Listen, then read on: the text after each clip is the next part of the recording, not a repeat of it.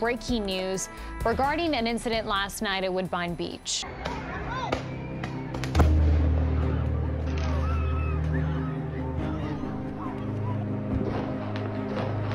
So here's the video on your screen now. You can see it. You can hear the fireworks crackling. You can hear people screaming as well.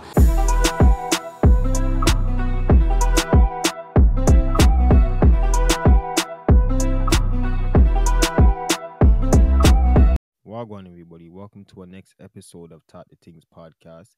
Today, we're going to be talking about a topic that I wanted to speak about not too long ago. You know, I had the idea, but I never wound up speaking about it because I knew that Victoria Day was going to pop back up and that people are going to be busting fireworks and that some foolishness was going to go down for me to have an episode to talk about. So I was waiting for it.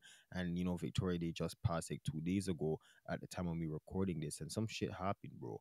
So the way I'm going to do this episode is I'm going to break down a few different stories, not much, but just a few different events that happened on Victoria Day so that you guys can kind of get an idea and a feel leading up to what happened this year.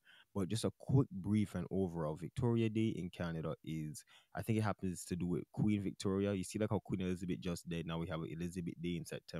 So people go out, they just shoot the fireworks. People go to the beach, they go to the parks, they do it in their complex. Um, but it's, it's kind of weird because some like places say you can't do them in parks, you have to do them at your house. But then in my some like where we live, they say you can't do it in your in the area. You have to go to a park.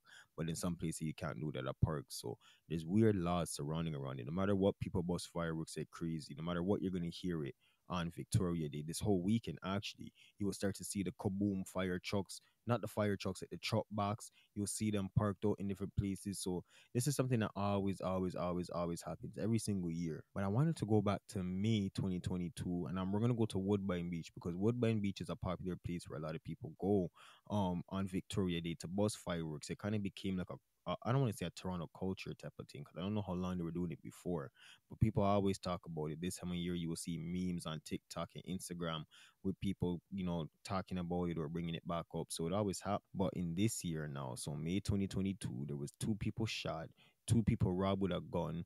People were shooting at the police. Somebody shoot up the police horse with firework, and that's not gunshot. But the two people that were shot in the beginning, they were actually shot with gun. And a person that the two people that were robbed was robbed with gun, not firework. But the people that were shooting at the police and the police horse, that was firework. So I want to play you guys a news video, and I want to play you guys the video of the people shooting up Woodbine, so you guys can see how it just gets around this time of year. And I'll be right back. Breaking news regarding an incident last night at Woodbine Beach. For more on this, we go live to the scene. CP24's Beatrice Fantoni is standing by. We're learning more about what happened, uh, and also there are officers from 55 Division remain here on scene at Woodbine Beach Park after what was a wild night here last night. Uh, there was two people injured in a shooting, another person injured in a stabbing, and I'm now learning three Toronto police officers were also injured here at Woodbine Beach Park between 9 p.m. and 11:30 p.m last night. Let's start with those injuries to these officers. Initially, I'm told at 9 o'clock, an officer was treated here in this uh, beach area for a leg injury. He was, he or she, this officer was taken to a hospital with minor injuries. And then at 11:25, I'm being told an officer suffered what's being called a firework injury. Uh, they were transported to hospital with minor injuries and then roughly uh, 20 minutes later, a third officer was treated for a minor scrape uh, here at the scene by paramedics. This third officer was not transported to hospital. When it comes to the other incidents, uh, these two shooting victims, one of them found here at the scene by paramedics, taken to hospital with non-life threatening injuries. A second shooting victim arrived uh, themselves in hospital to receive treatment. And Toronto police also called here for a stabbing as well. That individual also transported uh, with non-life threatening injuries. But I can tell you, according to our crew who was here last night initially for that first shooting call, Chanel, uh, there was chaos here. There was people firing, according to Bakari Savage, who was here along with a, a camera op. Uh, there was people shooting Roman candles at one another, shooting fireworks at one another from vehicles at each other. And so the scene was so chaotic that our crew was actually not able to get out of their vehicle to shoot any of this footage or talk to any of the people that were around here. All right, so you guys just seen that. Now this year came around and I seen a video that I was looking for and cannot find it for some reason. But supposedly a whole block burned down. I don't know which one it was. I don't think it really like burnt down to the ground like fires where the house is burnt down because I was looking on the news. I never seen nothing like that. But I, it, the place was full of smoke because if you know how fireworks are, even if you just bust one of them, there's enough smoke.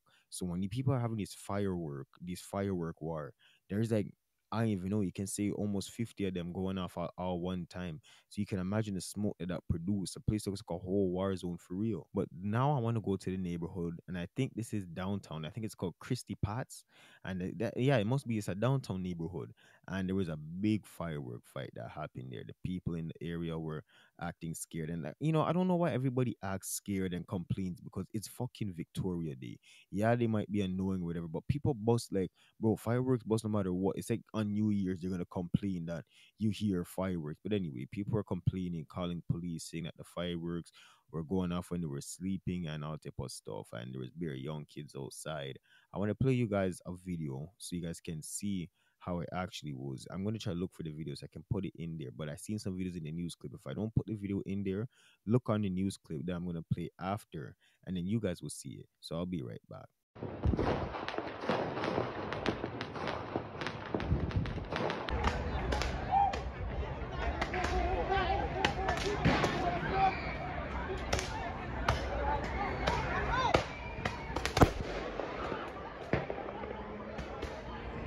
Story, pretty shocking video from the Christie Pitts Park area last night shows fireworks being shot by individuals along the stretch of Bloor and in the presence of police. Yeah, just a wild scene. CP24's Beatrice Fantoni is live uh, from the scene this morning here. Significantly quieter this morning, Beatrice, but also you're trying to get some answers as to what happened here because as you pointed out last time, so many police from so many divisions called in.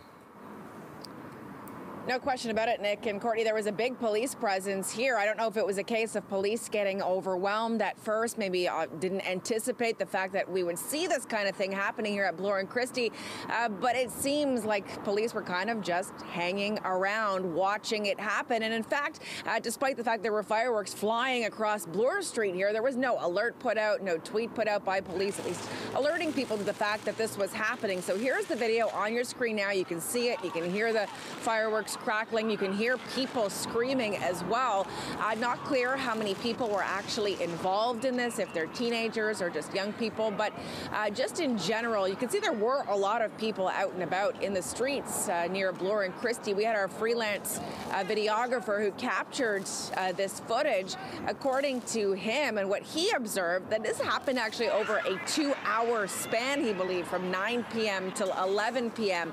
So that's a whole lot of time for police to kind of be hanging around, allowing this to happen if that's in fact true, and not a, making arrests, B, clearing the way and making sure that people are safe. Because there was also cars coming down Bloor Street, obviously a major artery here in the city. So cars coming down, uh, fireworks being shot at vehicles, and there's one shot actually where a firework that's in the ground is pointed at a police cruiser, and it's a sergeant's vehicle, by the way, uh, pointed at a sergeant's police cruiser and appears to be hitting this cruiser. Uh, when it comes to police, there's uh, some shots as well. A couple of officers on bikes. You can see fireworks in their hands. it looks like they managed to uh, seize some of the fireworks from some of the people participating in this chaos.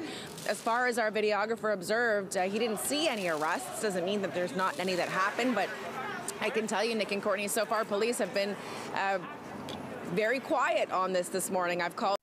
You guys just seen that. So, you know, I mean, I want to get into my thoughts about this now because at times I feel like people are being extra.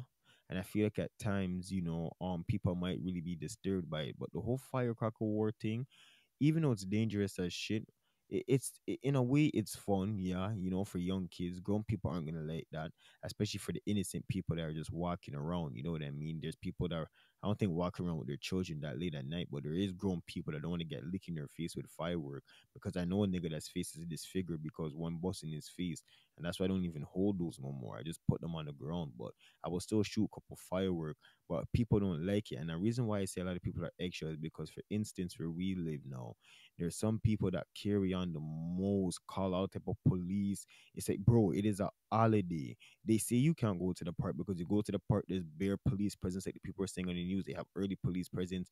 Police is taking away the firework them from people. Um, I, I don't know where you're supposed to do it if you can't do it in a public park and you can't do it in a beach. You can't do it in a residential area. We bust the fireworks, they're calling police. Everybody wants to call police. They say, bro, what are you calling the police them for? It's just firework. We're not even shooting at each other more time. There's just people just shooting them just to shoot, you know, for little kids to see. And people will call the police. It's like a little abandoned area behind where we live. And we used to go over there, go shoot them. And people are getting upset. You can't shoot the pack. Like, shut the fuck up. But you know, I don't know. It, it depends on where you're doing it because, like I said, now these kids are downtown, outside, and there is people that you know shooting it at innocent people's cars. Kind of crazy. They're local brazen for shooting it at the police still, but shooting up the police car and them stuff. But you know, people that are in their house in these tall, tall condos, bro. You live downtown. It's a it's a holiday. You're gonna hear firework. There's no reason to be bawling and crying. I guess if it goes over a certain time, but what can you do? Like I said, it's a holiday. It always happens. It's annoying as hell, but it always happens. There's really not more. I don't see the point of always calling the police, and that's why enough time police don't even come out to certain area. I've seen some people complaining saying that the police never came. Well, because there's not much that the police can do. By the time police come, the firework is done, boss. It only goes out for a couple seconds, you know, if they're not having a full out war. But I want you guys to let me know what you think about this. Did you did you used to do them in like you know the wars them when you were younger? I used to do them. Let me know if you used to do them. Let me know if you don't like them and why you don't like them. Just keep the discussion going in the comment section. And we will talk next time on Talk Da Tingz podcast.